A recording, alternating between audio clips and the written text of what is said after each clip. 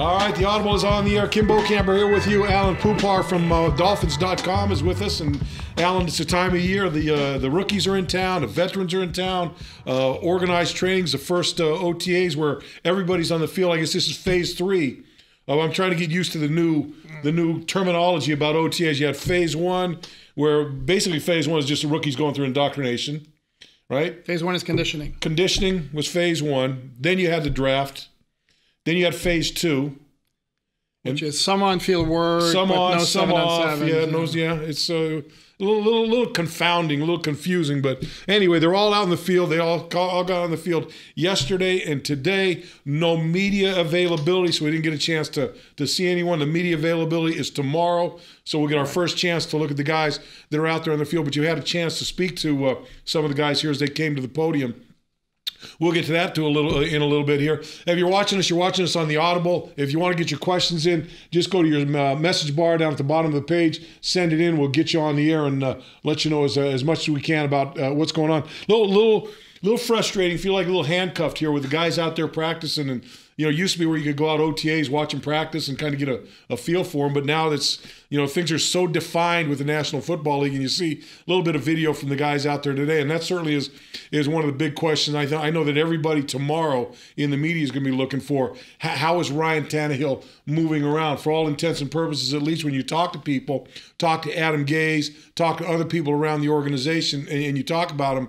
Um, it seems to not skipped a beat avoided the surgery, allows him to go through these activities as well as training camp. And, and I don't think they're expecting any uh, any hitch in his giddy up between now and, and the time the uh, the season begins, Alain. No, Adam Gase said as much a couple of weeks ago when he when he spoke to us that basically he saw no difference whatsoever yeah. in him. This was during phase two, and then now we've spoken to Anthony Fasano, we've spoken to Jay Ajayi, and they both talk about that he looks great. He's yep. moving around fine. He's you can, you can see the brace, but it you, you see no effects of it. And everybody talks about how much of a leader he's, how much he's taking charge of the offense. Mm-hmm. All things you want to hear, and like obviously the hope is he can he can pick up where he left off last year before he got hurt.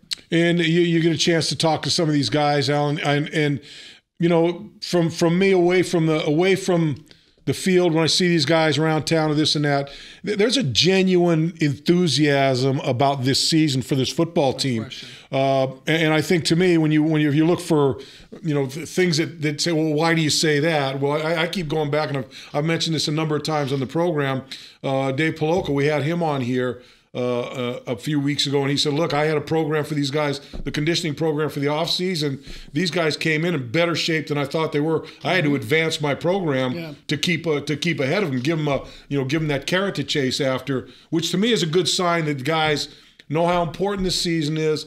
And weren't settled, weren't satisfied with where they were last year. Knew they had to go out, knew they had to work, knew they had to get better if they want to get, they want to be where they want to be at the end of the season, and that's further in the playoffs than a wild card and, one one football game. No, correct. They were the the prevalent feeling after last season was more so the fact that they didn't go farther than it was, oh yeah, we made the playoffs. Yeah. And you mentioned the idea of going the extra step. Well, Anthony Fasano told us today that in late March, not long after he signed, Ryan Tannehill was gathering some of his receivers around to throw yeah. throw passes and run routes. Uh, and Fasano was saying that most of the guys were there, and he he, he said, I, with the teams I've been around throughout the league, I've never seen this level of participation, which again is a good sign in terms of the commitment of this team to do what it takes to take the next step. And Alain, if it follows. I follow. I would follow that up with with the, the thought of the, the, the the rookies that they brought in, in particular the draft choices. Obviously, the unrestricted free agents, you know, they'll play into this whole thing, and, and who knows, you know, every now and then you get one or two of those guys that pop out and, and become players for you. But certainly with the draft choices, the, in the in the character of the guys that you brought in, I think there's a synergy. You can see the guys when you talk to these these rookies that they're the type of characters that seem to fit into this into the framework of this football team. And I think I think Coach Gase and the assistant coaches and the, the personnel guys, Chris Grier, Mike Tannenbaum, have kind of gotten rid of the guys that that you know maybe were lack of effort guys, guys that didn't care so much, guys that weren't doing the right thing, and they, and they've kind of weeded them out. And it seems like all the guys they brought in, at least from the surface, and we haven't seen uh, you know really anything from them so far. But when you speak to them, you feel like the character fits the type of player that this football team wanted when they set out on draft weekend. Oh, no, no question. And the other thing about the draft choices is they seem to be all guys who maximize their abilities in college. Yep. Uh, looking especially at the top three guys: Charles Harris, Raekwon McMillan, Cordrea Tankersley. These are not guys who who like underachieved in college, and you're hoping that maybe there's something better up there. There are guys who who got what they did, what they could out of their ability, and there's still more there. Obviously, as they grow and as they learn. Uh, and the other key with with the draft picks is what the Dolphins did last year in terms of building their roster is they set themselves up in a position where now it's about adding depth and, competition yeah. as opposed to filling holes. Yes, uh, which has been the case of maybe the past few years. Well, well, to me, I mean, you know, they had they had boxes they wanted to check off going into the draft. They checked Certainly. off they checked off every one of those boxes. Doesn't mean every one of those boxes is going to be a starter in this football team. Correct. But you've got you had areas of need that they addressed from top to bottom. Uh, in this draft, probably the one guy that, uh, that that really didn't need was Isaiah Ford but he's a guy that looks got some upsides, got some speed. Right. You know, but but beyond that, you know, you got defensive tackles, you got an offensive guard, you, you got the the defensive end you wanted, uh, you, you, got a linebacker you wanted, you got a cornerback. So a lot of good things, and you got an offensive guard uh, along the way too. So uh, and they don't desperately need for any of them to, to, become be, a starter right, right, away. Right. But I think the good thing about Joe Joe Rose was on last week. We were talking about look, these guys just need to get in and get in the rotation. Correct. Just to be the rotational player. And look, if you you know if that guy gets in the rotation, whether it's Harris, whether it's Tankersley, uh, whoever it's uh, whoever it is, McMillan, Asiata, whoever it is, if they can just get in the mix there, and then you hope one of them or two of them, the, the cream really rise to the top and you get that that impact starter that can can make this the front line better but you know your depth is definitely going to be better based on on the, the positions you filled right. and again i would say the growth of players last year alain mm-hmm. that started the season at one level and by the time the season was over for the la- for the for the amount of playing time for the amount of big games right. big situations big plays all those types of things the quality of, the, of the depth got better just with the guys that were backups that had to play last year. They also the Dolphins also have a couple of guys who have big, big, big talent who have not gotten to where to they fully to fully realizing right. their potential. DeVante Parker, yep. Jordan Phillips yep. are the two who stand out. Yeah, no doubt about it. And, and, certainly there's been a lot of talk, an article in the paper yesterday about uh, DeVante Parker and, and, what they're expecting out of him and how he's kind of changed. It, it, you know, it's it's it's that old story. Sometimes you need to learn to be a pro. Right sometimes you need to you need to it takes some guys a while to shed the college you know feeling where you can just go line up and and you know yeah. not practice all week and go out and, and catch 10 balls for 180 yards and 2 mm-hmm. touchdowns and you're yeah this is easy not so easy when you get here and sometimes it takes a while uh, guys a little while to learn that and they're hoping that DeVante has graduated past the, the, the, the, previous guy into the guy that's going to be a very, very successful pro over the next handful of years. No question, because I mean, he's got all the, the, the, physical skills. I mean, this guy's tall, he can run, he can make catches up in the air, he can win the one on one battles. Yeah. It's all there for him. But as you mentioned, at Louisville for him, it's basically just show up on Saturday yeah. and then I'll have a great game. Yeah. It's not quite as simple. yeah, no doubt. Hey, uh, let's go ahead and get some questions. At uh, Kaleska, yeah, I wonder if I'm. I, I just never you know if I'm pronouncing the pronouncing it. Oh Saleska, Kaleska, right there. Saleska would be. Saleska, at Saleska. Can you take away any new insight or knowledge of the players from these OTAs? Well, tomorrow after tomorrow, yes. I, I think the only thing, Alain, you can take away. Let me tell you, you've, you've had a chance to talk to uh, a handful of guys over the last two days. Who who said something that, that struck you or or or or just guys that you see that that, that impress you. Certainly the guys, the, the Charles Harris, the new guys that are out there. Um, what have you liked? What have you been concerned about? They, well, the, the, players we've talked to haven't mentioned anybody in terms of somebody we might not expect. I mean, there are a lot of the questions have been specifically about, for example, Jay Ajayi. How's Ryan Tannehill mm-hmm. looking? Uh, how's Laremy Tunsil looking at, at left tackle? And everything's been positive. And again, right now, it's still really, really early. Uh, what can you take from the OTAs? You can take in in the if they do bad drills with DBs yeah. against wide receivers. You can see some things there. You forget the offensive line, defensive line. You can't really see no, a whole no, lot. No. Um, the OTAs is a lot more about installing your system, learning everything, yeah. more so than like really I mean, individual battles, yeah. position battles. You, you know, it's funny. I, I remember this distinctly I remember doing. We, we didn't have OTAs. We had mini camps and, and this and that and off season conditioning, and I, and I remember the mini camps and and we you know from for for my whole career we had one mini camp. That was basically it. Mm. And and that mini camp, I, I mean, you worried we were you concerned about that mini camp all off season, you know, mostly because you had to run a 12 minute run, and that was probably the biggest concern. But you know, it was a, it was a big thing because it was the one time you get together during the off season, and you know the coaches are evaluating: is this guy been working out? Is he in mm-hmm. shape? Correct. All these types of things, and you know that's going on, and you want to go out anytime you're on the football field. You want to impress out there and, and let these guys know, and, and so you kind of go in with that anxiety of, hey, I got to go, I got to show them something, I got to do this or that and then I, I would always get to late in the season, you know, November, December, big Monday night game against New England down here, or Buffalo, or the Jets, or the Raiders, or somebody. And I'd always sit there and, and think to myself, you know, all that BS from mini camp and everything. And, you know, where we're sitting right now means absolutely zero at this point, you know? Mm. But but at the time it's hey, it's it's it's it's the top of the heap. It's a you know yeah. it's, it's, the thing that's on your plate right there. But know? it's all it's all yeah. It's a lot of all of that preparation for that one moment, and you yeah. hope that everything that you did helps you at that well, particular well, moment. There's a, another big difference too is from from your from when you played to now is these guys show up in the spring and, and they're, they're already in, in great shape. Yes, I yeah. mean, so yeah that part of the equation is kind of out. Now it's basically again learning and retention and all that good stuff. Yeah, no doubt. But look, the, the other the other thing is you know, I first came in the league, we had six preseason games, mm-hmm. and uh, so you had nine weeks to um, nine weeks to get yourself in shape at yeah. training camp. No need to do it. During, don't need to do all that during the off season because you knew. You, you knew what was going to happen there. At uh, DFA 73, what's up, guys? How do you feel about the roster so far? Should we pick someone up, pick someone else up in free agency?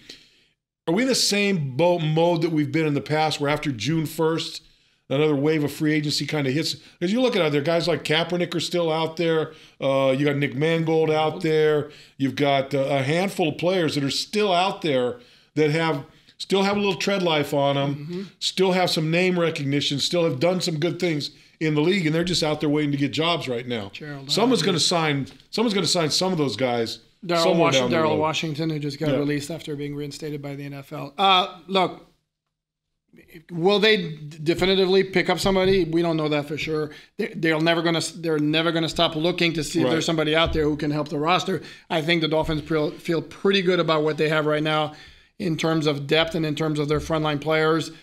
That said, the process of, of upgrading the roster and adding more competition, adding more depth, that never ends. Yeah, yeah. Always keep a lookout there. You know, that that that, that you know, I, I, you'd hate you hate to be forty-seven to fifty-three Correct. Because that's a churn. That that's just a oh, yeah. that's a revolving door there. You know, so you you know you get that you get that last few weeks of seeing go, where'd that guy come from? You yeah, know, absolutely, no question. you got to keep up with the roster.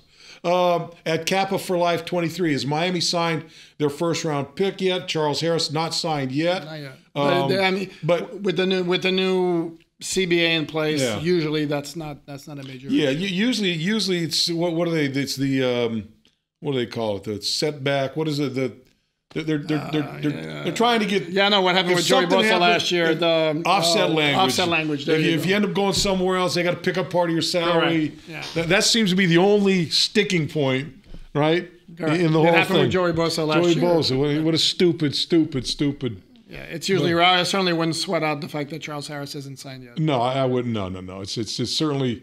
Look, if he's not signed when when the when training camp starts, then get your dander up. But now now's not the time to do that uh, at Emanu for U55. Is that brace necessary or just precaution? Did you, did you see the brace? Yeah. Was was on the video? Yeah. Oh, I didn't see it. I didn't yeah, see it. That's, that's, is a brace necessary? just I, I don't know. I don't know if the it's answer is yes, yes, or precautionary. Yeah, yes. I mean, with both. Yeah. Well, why would why? would My my question would be this: Is it just precautionary or is it necessary? Two no, different things. No, I know. What, I, what I'm but what I'm saying is why wouldn't you not have it? If it's not hindering his movement, well, why not? Why would you not? Why, why not? Yeah, I'm with you on that. Uh, I'm with my my guess is he. I, my, again, my, no, I don't know. I haven't, I haven't studied yeah. his medical no, no. chart, but and as as as Coach Gase always says, I'm, I'm few, not a doctor. Few degrees short of my medical yeah. degrees. I, I would guess that it's precautionary. If it's necessary, I don't know that he would be out there running around. you, you know, sometimes sometimes you get hurt, and sometimes you just want to know there's something there. Correct. You know, and, and you may never using. I remember doing stuff where you've put a brace on, and after a while you say, "Oh, you know, I'm, I'm good. Let me get rid of this thing." But Correct. but look for look. I think for a quarterback that's had a knee situation, and, and if you can wear a brace, it's gonna gonna protect you. I, I, think it's the right thing to do. No, and by definition, if it wasn't necessary, it means it would still be an issue with the right. knee and he wouldn't be out there. Right, so right. there's your answer. It's precautionary. Yeah. Uh, a black man game. After watching today, what what guys stood out? I, I wish I could tell you. Today. You know, it's closed to. I tell you, the only if you want to find out what's going on in the field, go to Norland High School and ask those guys what was going on, or and go, Hall- to, Hallandale, go to Hallandale High. High. Hallandale High was there today how, how good has that got to be for these college, oh, these high school yeah. kids to be able to come out to an NFL practice, yeah. stand on the field, watch these guys practice, talk to them, be able to kind of ask them questions and stuff. For for both for the players and coaches, it's got to be pretty pretty awesome situation. No, and there was a video on Dolphins.com of, of uh, Isaac Asiata yeah. w- walking on the field talking to a Norland player. I mean, right. How great is that got to be for that kid? I sure. mean, he's, he's going to remember that the rest of yeah, his life. Yeah, good, good stuff. So, but yeah, look, we'd like to give you more information about what's going on out on the field, but uh, we don't get a chance tomorrow. As I said, uh, it is open to the media, so we'll get a chance to watch them tomorrow. So Friday we'd have a, a, a little bit more. Um, uh, at Casimiro 2003, or do you think the Dolphins?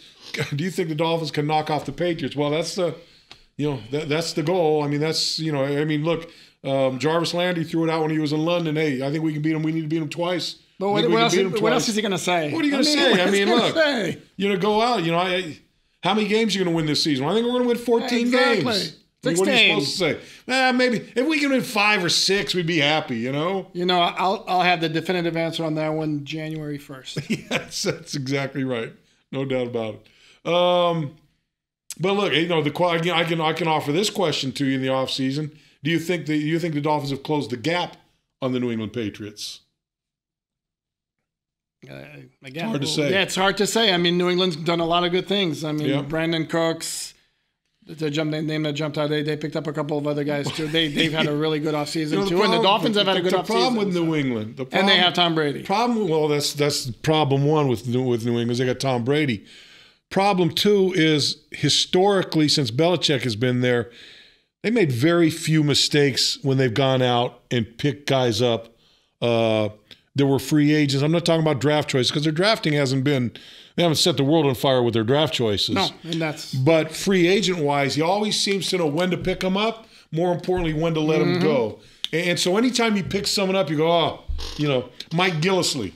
You go, oh, geez, he, hey, you know, if he picked up Mike Gillislee, he sees something that he feels he can take advantage of that Mike Gillislee does, and yeah, maybe, maybe other people have. But see, I, I, see. I think that pickup was overrated to me because Mike Gillislee had a great uh, average last year, but yes. he also played behind a very good Buffalo yep. run blocking offensive line. They led the league in rushing. So Understand, I think but, that's a little overblown. But the point I'm making is you give Bill Belichick the benefit of the doubt, just oh, based off his past the history. equity he's built up. And yes, he's got a reason move. to pick up that guy. And and you know, like I was telling, I told you before the draft, I, I was I was hoping beyond hope that New England wouldn't end up with uh, with the kid McCaffrey out of Stanford. No. Because he would have been the perfect guy to go on that roster, and Bill Belichick would he would have he'd use that guy every way possible.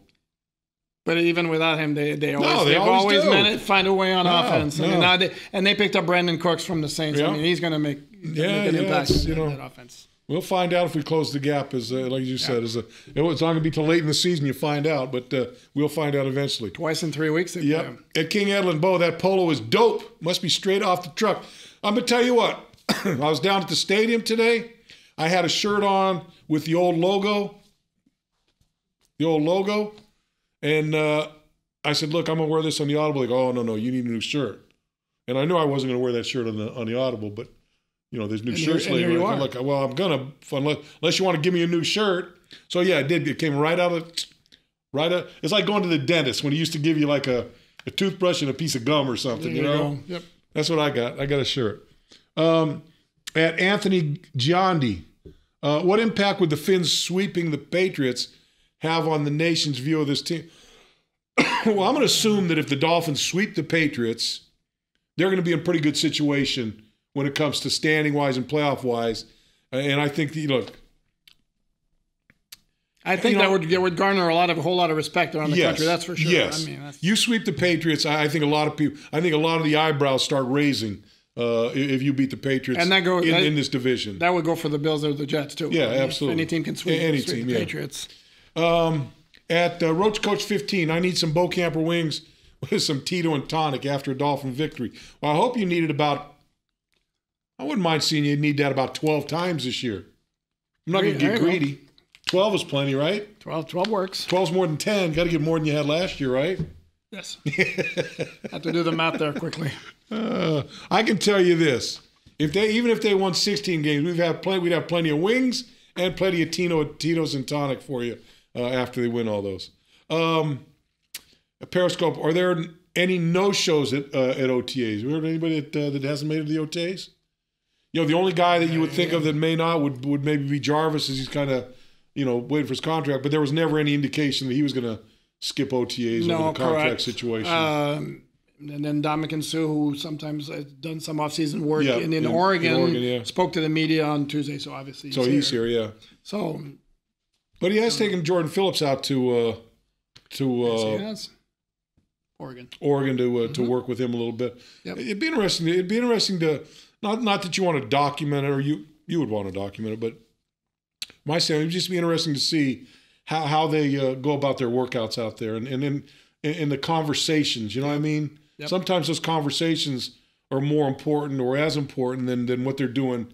Uh, in in the weight room or in the conditioning program out there. No question, because you look at Jordan Phillips, and it looks like it's all there. He he's made it. He's made a couple of plays since he's been with Yeah. the Dolphins where you go, whoa, this Yeah. guy can be good. It's just not there down in down out, where it's it's pretty much there every down Yeah. with Suh, and obviously they're not the same guy.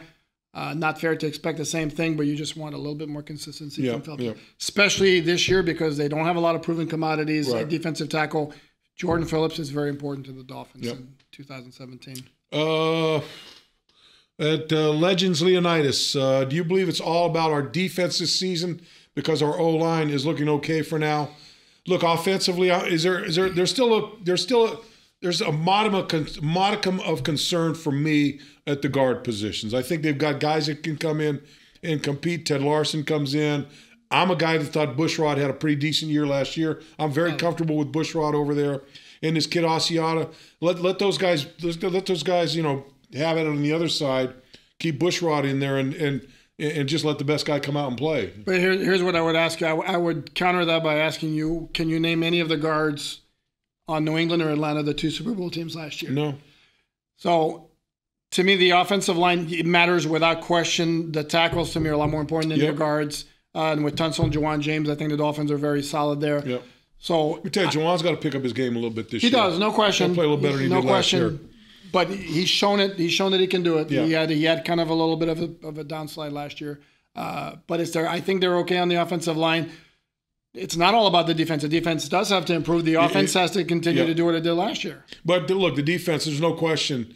The defense, and and, and look, I, I as far as I'm concerned, to me, the, the only stat I want to see them improve on is points against. Correct. You know that, that to me, all the other numbers. And look, you can you can look at the. I know I know the number is 4.8 yards per carry, mm-hmm. average over 400 yards a game. What was it? Rushing, I don't forget the number was, but big numbers defensively. you still won 10 games.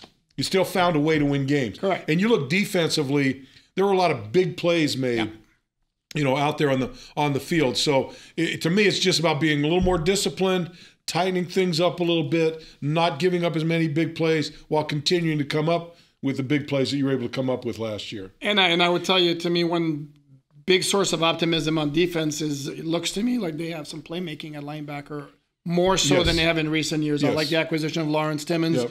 Raekwon McMillan was a big time player at Yep. Ohio State. And then you have Kiko Alonso coming back after making a lot of plays last year. Yeah, and I feel pretty. I feel pretty good. I feel pretty good about the makeover at the linebacker position. You know, to me, the wild card a little bit is Koa Misi. Um, you know, can he stay healthy and, and compete with those Correct. guys and and you know and, and get in the rotation? Um, but I but I'm look I'm I'm look, I knew going into last season you're sitting there looking at linebackers going oh man they need to they need some help there and Correct. and cornerback wise but they've answered those questions. It, it- you know we'll see if they've answered those questions. Certainly they've got bodies in there that you expect to make those positions better. Well, no question. And then you're looking at cornerback. Byron Maxwell was playing lights out before Yeah. he got hurt at the end of last year. And then Xavier Howard Xavier's a looked, big looked pretty player. good. I mean, he, yeah. he got hurt. But, I mean, if those two are in there and they're playing at their peak or playing solid, they're in good shape. Look, Z- cornerback, I Xavier to me, you can put him over there by and line him up there now and be your starter. I, no I think question. he's Oh, that no kind of. He. I mean, when he was healthy, and, and I tell you, one to me, one of the most impressive things when he wasn't expected to, he wasn't expected really to play in in, in New York against the Jets, and and who got hurt? One of the cornerbacks, Mm-hmm. Maxwell got. Maxwell got hurt. So you throw him early in the game, and he just shut down Brandon Marshall. You know, with you know the you know not having played, been hurt, getting on the field. So I, I think this guy, I think this guy's really going to be a very very good uh, cornerback for us. Um, uh, definite maybe. Does having a tougher schedule help you going into the pl- does having a tougher schedule help you going into the playoffs? Uh, well, just getting into the playoffs helps you going into the playoffs. you know, I mean, From football 101 here. Yeah, that's I mean basically that's that's the basics. But look, I, I you know I I know people I know people grip on the schedule and look how tough it is, but especially in the league, especially the way the league is now, I see the schedule to me as, as a very fluid thing. No question. And that's why I look. I've always been a guy, and maybe it's just because I played, you know, my whole life that that was a one game at a time guy. You may look at the schedule. Usually, look at the schedule to see, oh, we're going to uh, New Orleans. I get to go to my favorite restaurant in New Orleans, or I get to go to my favorite restaurant in Baltimore. That's that's about the the, the, size of it, at least from my recollection. Recollection was. Um, but look, you, you look at take take New England for example. You're going to play New England. Uh, you know, and and and they they start out four and zero, and you're playing them week five, and in week four they lose Gronkowski and they lose uh, Correct. Mm-hmm. and they lose Tom Brady. They- They're not the same team that you looked at in the schedule before Correct. the season started, and that's just the way it is. And so I, I've never looked at the schedule, and I know I know where this team wants to be, and I know where I want this team to be. Whereas I don't care who we're going to line up and play, as long as we play our game as well as we can, we'll win. No, And and that's where you want. I guarantee you, that's New England's frame of mind.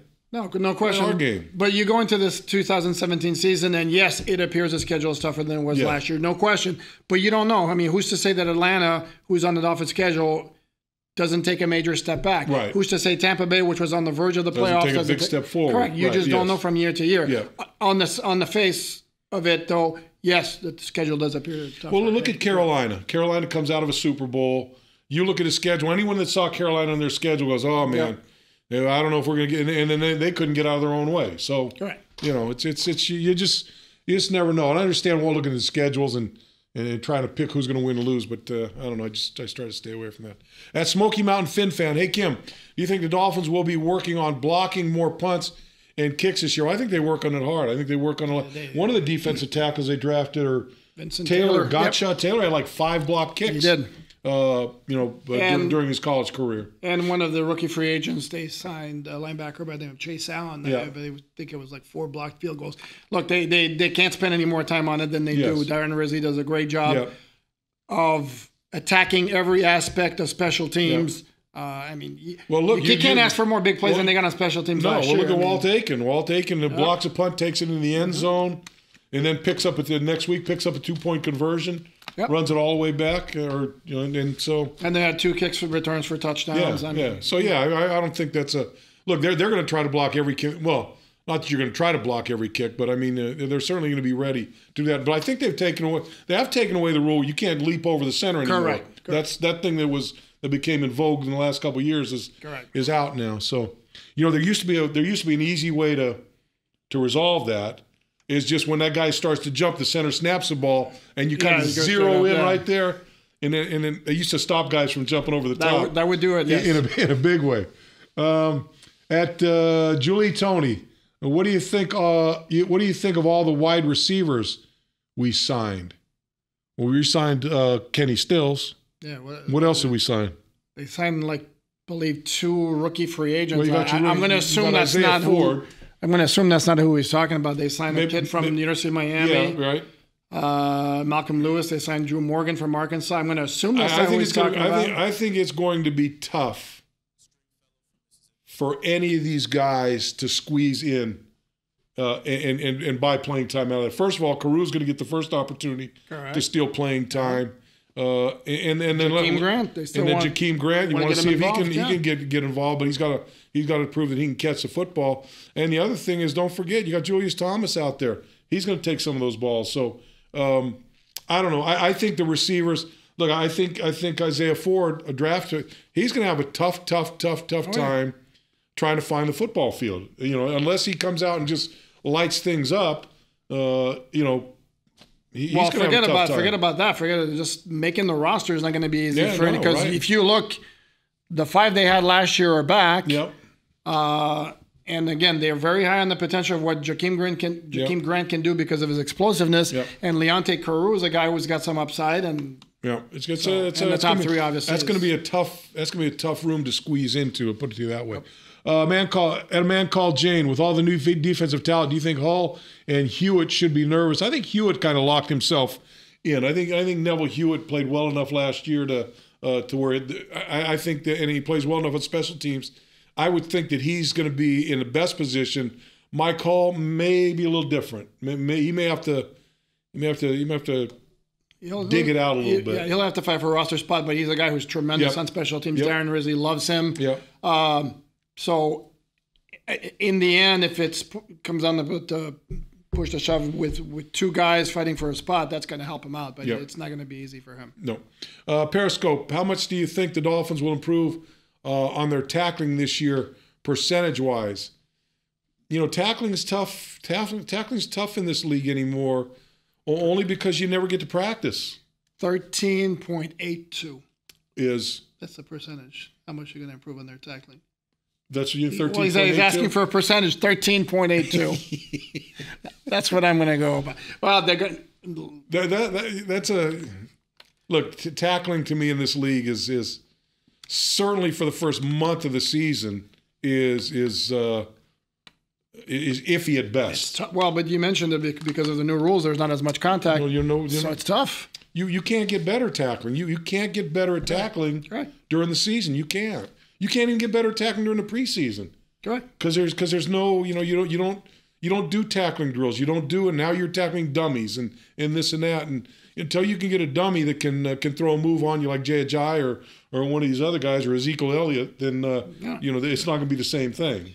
You can go by the law of, of, of averages. They did not tackle particularly well, Well- a lot of times last year. You figure it's going to get better. It, it better it, it has to Yeah, it has to if they better. want to be where they want to be at the end of the year they're tackling has to get a lot better and their entire fundamental defensive play has to get better running around blocks has got to stop getting upfield forcing people back inside that's got to be more of a uh, you know of a positive form all, those things are, are going to make you better and and your tackling's got to get But better. along those lines, also remember that last year, for, for good periods of time, both Kiko Alonso Yep. and Jelani Jenkins played with like cast or Yep. clubs on their hands. It's not easy to Well, tackle and, when you and got Jelani was was On was banged one up. leg, one leg up the half whole year. time. And Kiko, I, I remember watching Kiko at the end of the year. I think what he had for the last month, he had a cast on, or like a broken thumb. and and like he couldn't, he couldn't even get an arm. I mean, most of the time he's trying to trip guys up, get underneath them, just trying to get them to to trip over him. Those kind of block, those kind of Correct. things that that normally he wouldn't do if he didn't have the cast on. So you know that that being healthy that wise uh, is at uh, Mandarino thirteen. Which player drives the craziest car? I don't even know which cars guys are driving out there these days. All I know is I see some Bentleys out there and big trucks with big giant wheels and whatnot. And I have not ventured into the players' parking lot. I'll lot. tell you who drives honest. the craziest car that I've seen. Kenny Stills. What's he drive? Kenny Stills is a big fan of the old the old Volkswagen uh, got a buses. Beetle? Oh, the he's got an old Okay, bus. right. Yeah, he's got an old bus. And I talked to him about. I think he wants to, you know, uh, refurbish it and do that whole thing with it. Southern. California kid kind of goes with it, right? I wouldn't mind getting one myself. I love those old buses. So, but uh, yeah, I would say that's it. Oh, Jared Odrick used to drive like a like a. Jared really used to have that little. He used to have that little Fiat. Yeah, uh, really small car. tiny, yeah, one of those mini, mini Fiats or whatever it was. Yeah, Yeah, almost yeah. like a smart car or Yeah, like a. It was funny looking, especially All with right. him getting in there. All right, Alain, that's going to do it for us today, man. I hope we gave you something. You know, it'd be nice if we were out to practice and been able to give you a little bit more insight on what's going on out there. But we gave you what we had.